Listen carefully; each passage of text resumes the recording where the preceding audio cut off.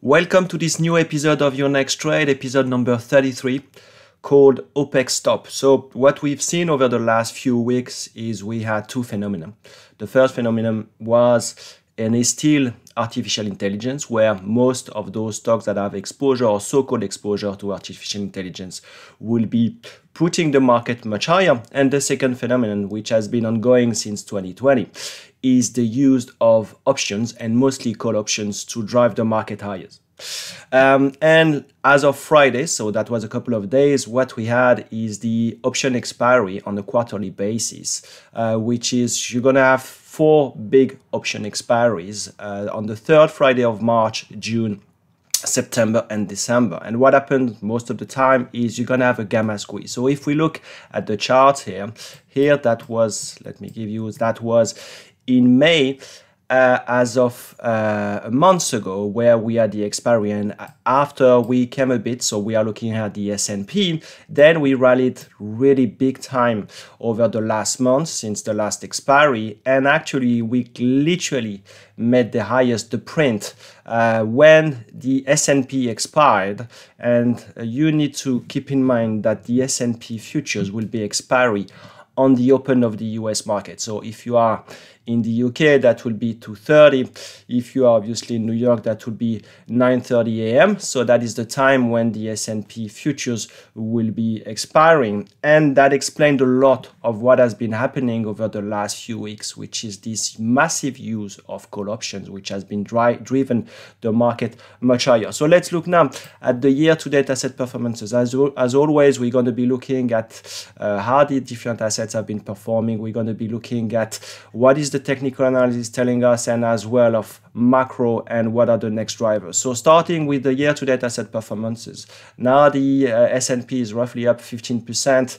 Um, the Nasdaq is double that, 30%.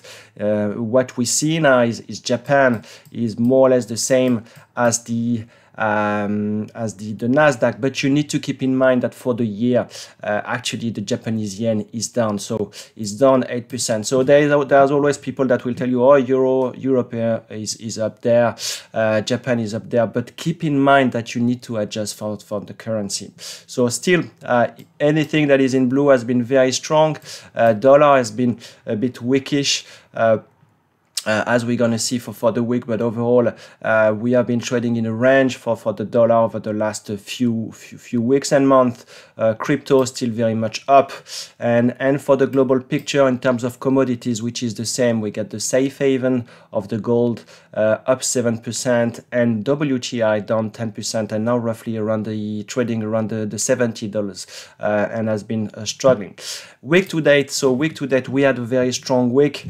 Um, that is some something that we mentioned again over the last month or so, which is the, you get this phenomena, uh, which is uh, driven mostly by those weekly options. And on Thursdays and Fridays, you will have a very strong equity market, stock market.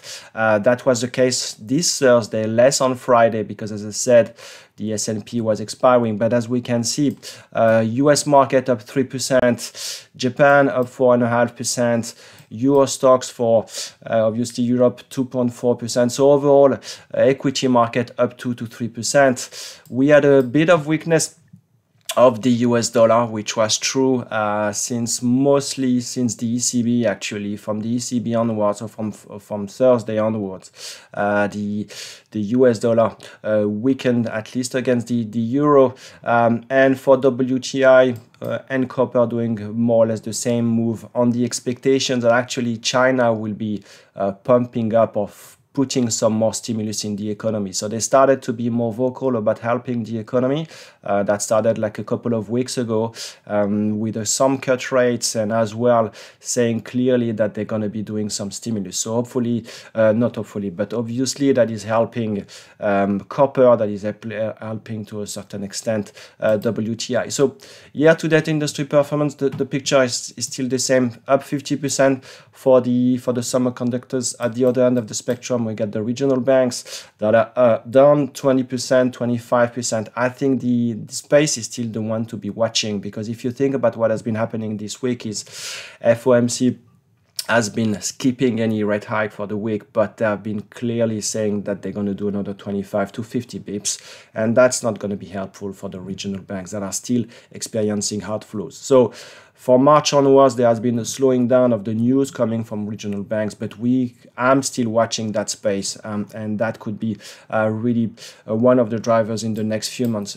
S&P, this is where is the S&P. So as you can see, um, you're gonna have most of the industries that will be down uh, versus or underperforming the S&P. Why? Because it is mostly driven by the same names and by the same sectors. So looking at this at this industry performance on the day on the weekly basis, sorry, uh, US dollar, as I said, you know, a bit weak for the on this week, but interestingly, as you can see, the airlines very very strong. So this is what the market is calling these days the traveling revenge. Uh, after COVID, you'll see um, a strong appetite from the consumers, not only in the US but everywhere in the world, to to uh, uh, to travel again. Uh, so I was recently long a stock in Europe, TUI, uh, which did a capital increase, and the stock has been up roughly 15% uh, since the start of the month. But airlines very very strong, semiconductors as usual. So you're gonna have the uh, the usual names that are or the unusual industries that will be doing very well. But as you can see for this week, a, a lot of of green. going forward, looking at the sector's performance. Uh, year-to-date picture is still the same. IT up 40%. Uh, so that is really a strong number. Anything that is a bit defensive, healthcare, utilities, uh, consumer staples, flattish. So the, the market has been very much uh, aggressive and same for the week. IT still outperforming up 4% for the week. Um, energy is still the laggard, really struggling, uh, but overall uh, a strong picture for, for the for the equity market. What about the rates? Looking at the 10, the 2, um, so the 10 years is still at uh, around uh, sorry 3.7% in the US or 3.8%. Um, where actually we uh, the inversion of the yield curve looking at the 10 and the 2 has been uh, increasing again. So we are almost uh, back to, to the lows at minus 1 the reason is uh, the two years uh, has been moving mostly uh, we are now on the two years, obviously, around this 4.6%, 4.7%. Why? Because the Fed, as I said, um, has been clear that they're going to be hiking rates a bit more. So they have been a bit more hawkish. Um, in the long run, uh, that tells you that it's not, it's still going to be not very good for the regional banks, and you could see some some pressure on that space. What about the the Fed funds rate? Uh, looking at uh, two things. So where were the Fed fund rates trading a month ago and where they are now?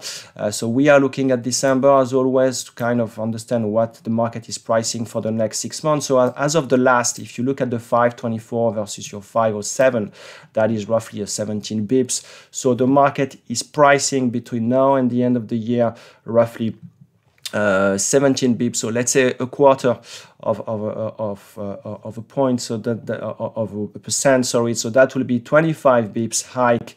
Whereas the fed if you look at the dot uh, they will telling you that the the, the peak rate, the terminal rate, which is here, should be at 5.6% in December. So market is a bit less aggressive in terms of, of the, the hiking cycle at uh, 5.2, 5.3%, whereas the, the Fed is saying 5.6%. But what you can see and what is interesting is over a month, so from the 16th to, to, the, to Friday, we have a change of roughly 70 bips between the 458 and the 5.24. So a month ago, we market was expecting uh, the Fed to be cutting rates by roughly 50 bips between June and December, whereas now market is expecting the Fed to be hiking rates between roughly by 25 bips. So big change.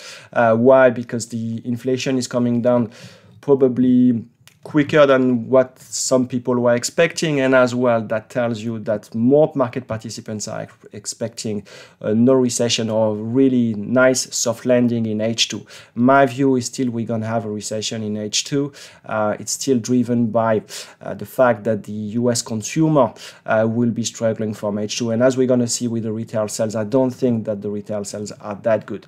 Looking at the VIX, as I know that the VIX is not perfect especially these days um, so that will be the one month. So try to dig a bit further on what is the volatility, both the implied and the realized, uh, telling you. But overall, the picture is uh, realized volatility uh, and implied volatility over the last months obviously have been on the way down. What has been interesting is the straddle uh, both on the daily and the weekly um, which were working pretty well if you were short or straddle until a month ago. That has not been the case because the move the market has been moving quite aggressively on the way up due to mostly the outlier on the on the right hand side uh, of the of the volatility structure which is buying a lot of call. So that has been uh, clearly um, disturbing the the volatility. So um, now I, I, would like to be jumping into the technical analysis starting as always with the S&P and I've been for the week looking at the weekly. So last week I could not do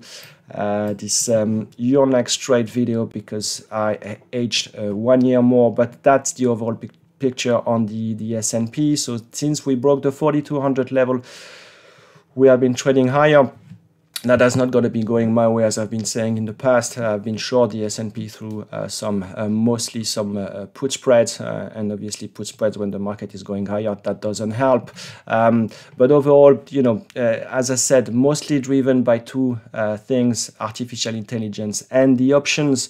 Um, and we know, as I said, that we got the OPEX and the gamma squeeze that happened up to Friday. What about the Nasdaq? Nasdaq. Oh, let's let me go back. Sorry for to to the the S&P. So we're still going to have the 4320 level, uh, which is for the JP Morgan um, collar, um, which is a big position that is expiring at the end of the month. So we can we could see at least you know uh, the market going back into the 4320 the issue that we're going to have is obviously there is a lot of hopes uh, built on the artificial intelligence and the earnings coming and the earnings are starting in a month's time. So you could see some other squeeze uh, going into uh, going into uh, this um, new earnings season. Nasdaq pretty strong as uh, when we broke the 13 uh, 1300 we have been literally on the way up. You see the candles very very strong Russell, same picture, not strong. Uh, so it's mostly because of the regional banks and the exposure of the US companies to the actually to the to, to the US. So not that strong. And the, the, the Nasdaq versus the Russell is, is more or less the same as, as before. So one of the drivers, one of the catalysts, this is always the same. Uh, uh, for any market, you need to be looking for for the winners, uh, for the leaders, and that has been the, the, same names, the Meta, the Amazon, the Apple, the Microsoft, they have been driven the market. So as we're going to see later in the catalyst, this is something that I'll, I'll be watching every single day. Uh, and I'm watching of the same charts, which is as long as you are in those trends for names like Apple and some others, and I'm looking at weekly, there is no reason for the uh, market to go much lower. Um, so look at those at those stocks. Uh, if they break the important uh, um, uh, uh, trend, then the market could be uh, turning why I'm looking at FedEx because FedEx is coming with the earnings this week, um, and FedEx is a good um, indication of how the world is doing and how the US. So they will tell you uh, in terms of macro what are the expectations for the next month, for the next six months. Sorry, uh, trying to to break a level here uh, needs a bit of confirmation, obviously, for, from the earnings, um, and um, that's I think it's it's on Wednesday. Looking at uh, now the, the regional banks picture is still the same and, and I will be uh, and I'm still thinking that uh, there is more uh, news, bad news coming out of that space, especially as the Fed is still keeping these hawkish views and rates are not coming down. So they are still experiencing outflows. Uh, the Fed has been trying as much as possible to be putting liquidity since March onward. So that has been helping the liquidity and the risk appetite move that we had uh, since since March. Emerging markets, mostly China, as you can see, uh, since the the expectations and the, the China has been telling us that they're going to be doing more aggressive or at least a, a stimulus the market uh, through the EM and through China has been doing pretty well. So that's last couple of weeks, um, and that's pretty much telling you that the market is is is, is very much driven by liquidity by central banks. Um, yes, you can argue uh, earnings are a bit better. Were they that better? They were coming down.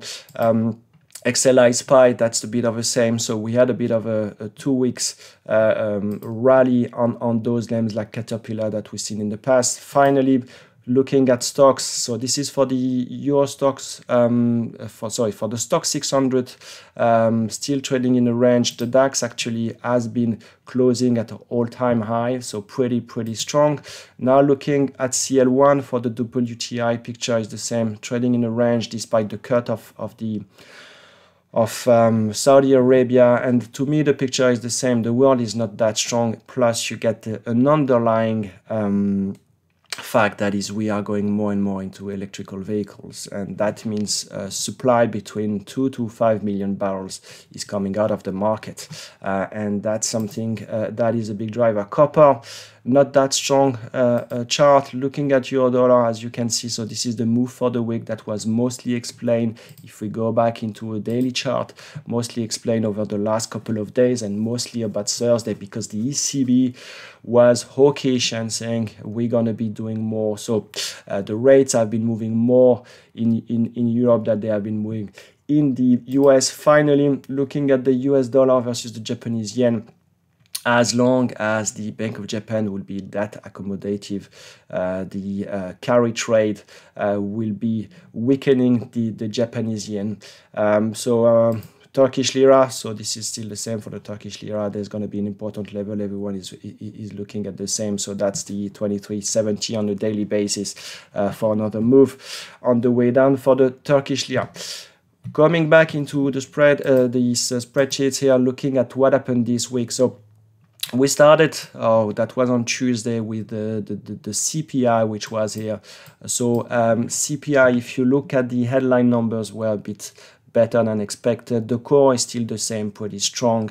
Uh, so that means the Fed has been struggling to be uh, very efficient as, as, as putting the, the core um, much lower. But the market um, enjoyed this number. Um, then we had a lot of, of central banks. So started with the FOMC meeting on, on, on Wednesday.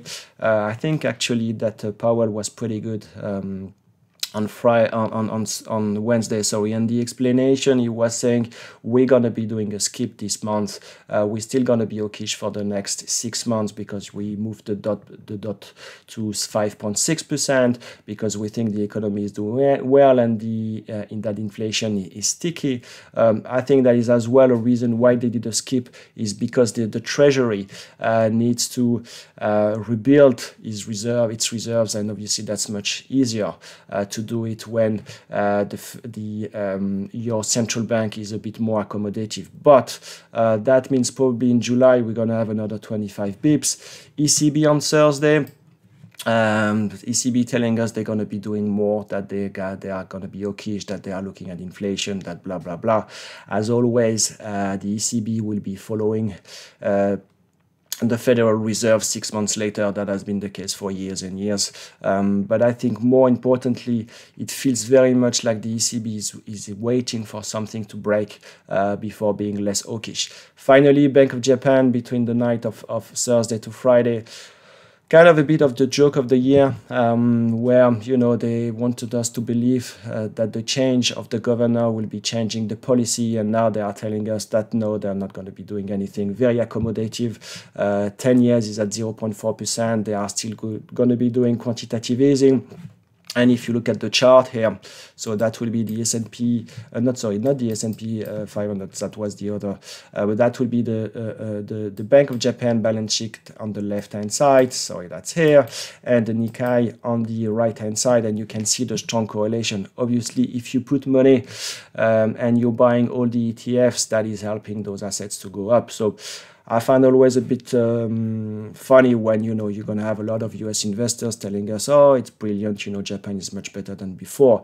It's mostly because you know at the end of the day, uh, you go, you're gonna have a very accommodative Bank of Japan, and the carry trade, as we've seen before, um, is helping exporters uh, with a weakening of the Japanese yen. Retail sales that was. Um, over the week as well. So retail sales were a bit better, but the reality is if you look more into details, uh, the level of the retail sales in May were the same as they were in January. So we had a flattish retail for the US consumer for the for for the year so far.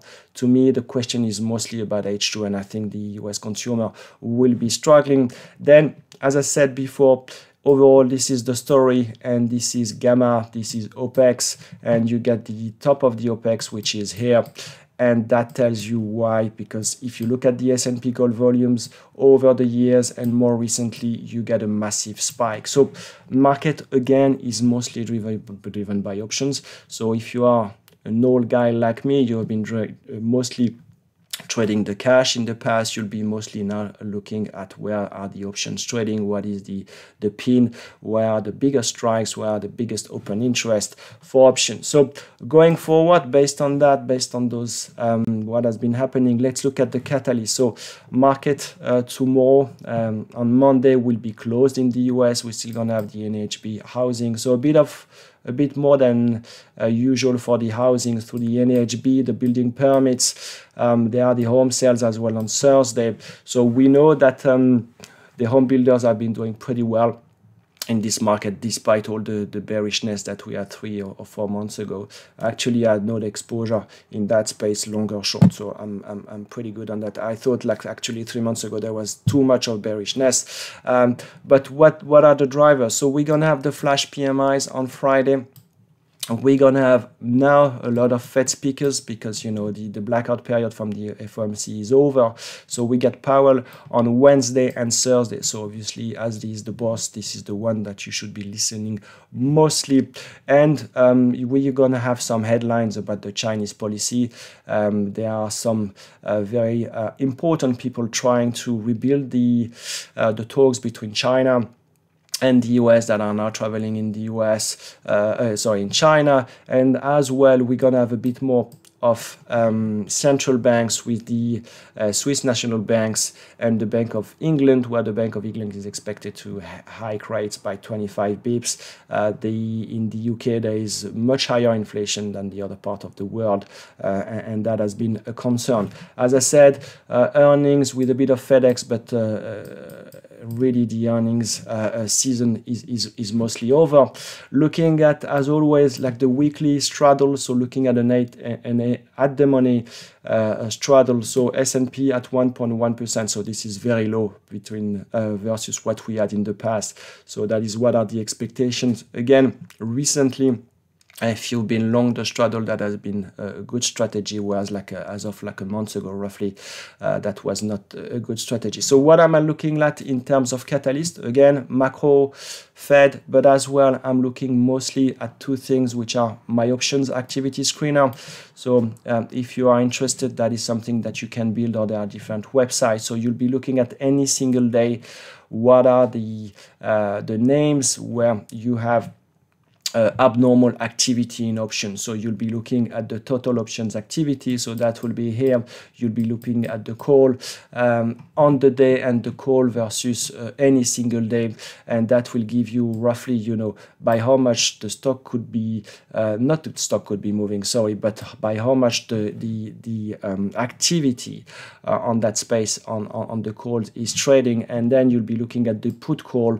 Uh, the, the, the lower the number is, the more aggressive people are buying the calls, obviously, and that you know very often you'll see a strong correlation between the activity in calls and the acti- and how the stock has been uh, outperforming. That is something that I explain on the Discord community. So if you're not on the Discord community, I explained this week that if you look at Nike, uh, I think that was Nike on, on, on Wednesday, where there was a big opening of calls at 111 um, in the morning, very early morning in the US. In the first 15 20 minutes, uh, there was um, a lot of activity in the stock. Uh, obviously, you had a, a, a some decent uh, gamma squeeze on the stock, which uh, very quickly went from 107 to 111, 112 uh, due to those uh, option activity.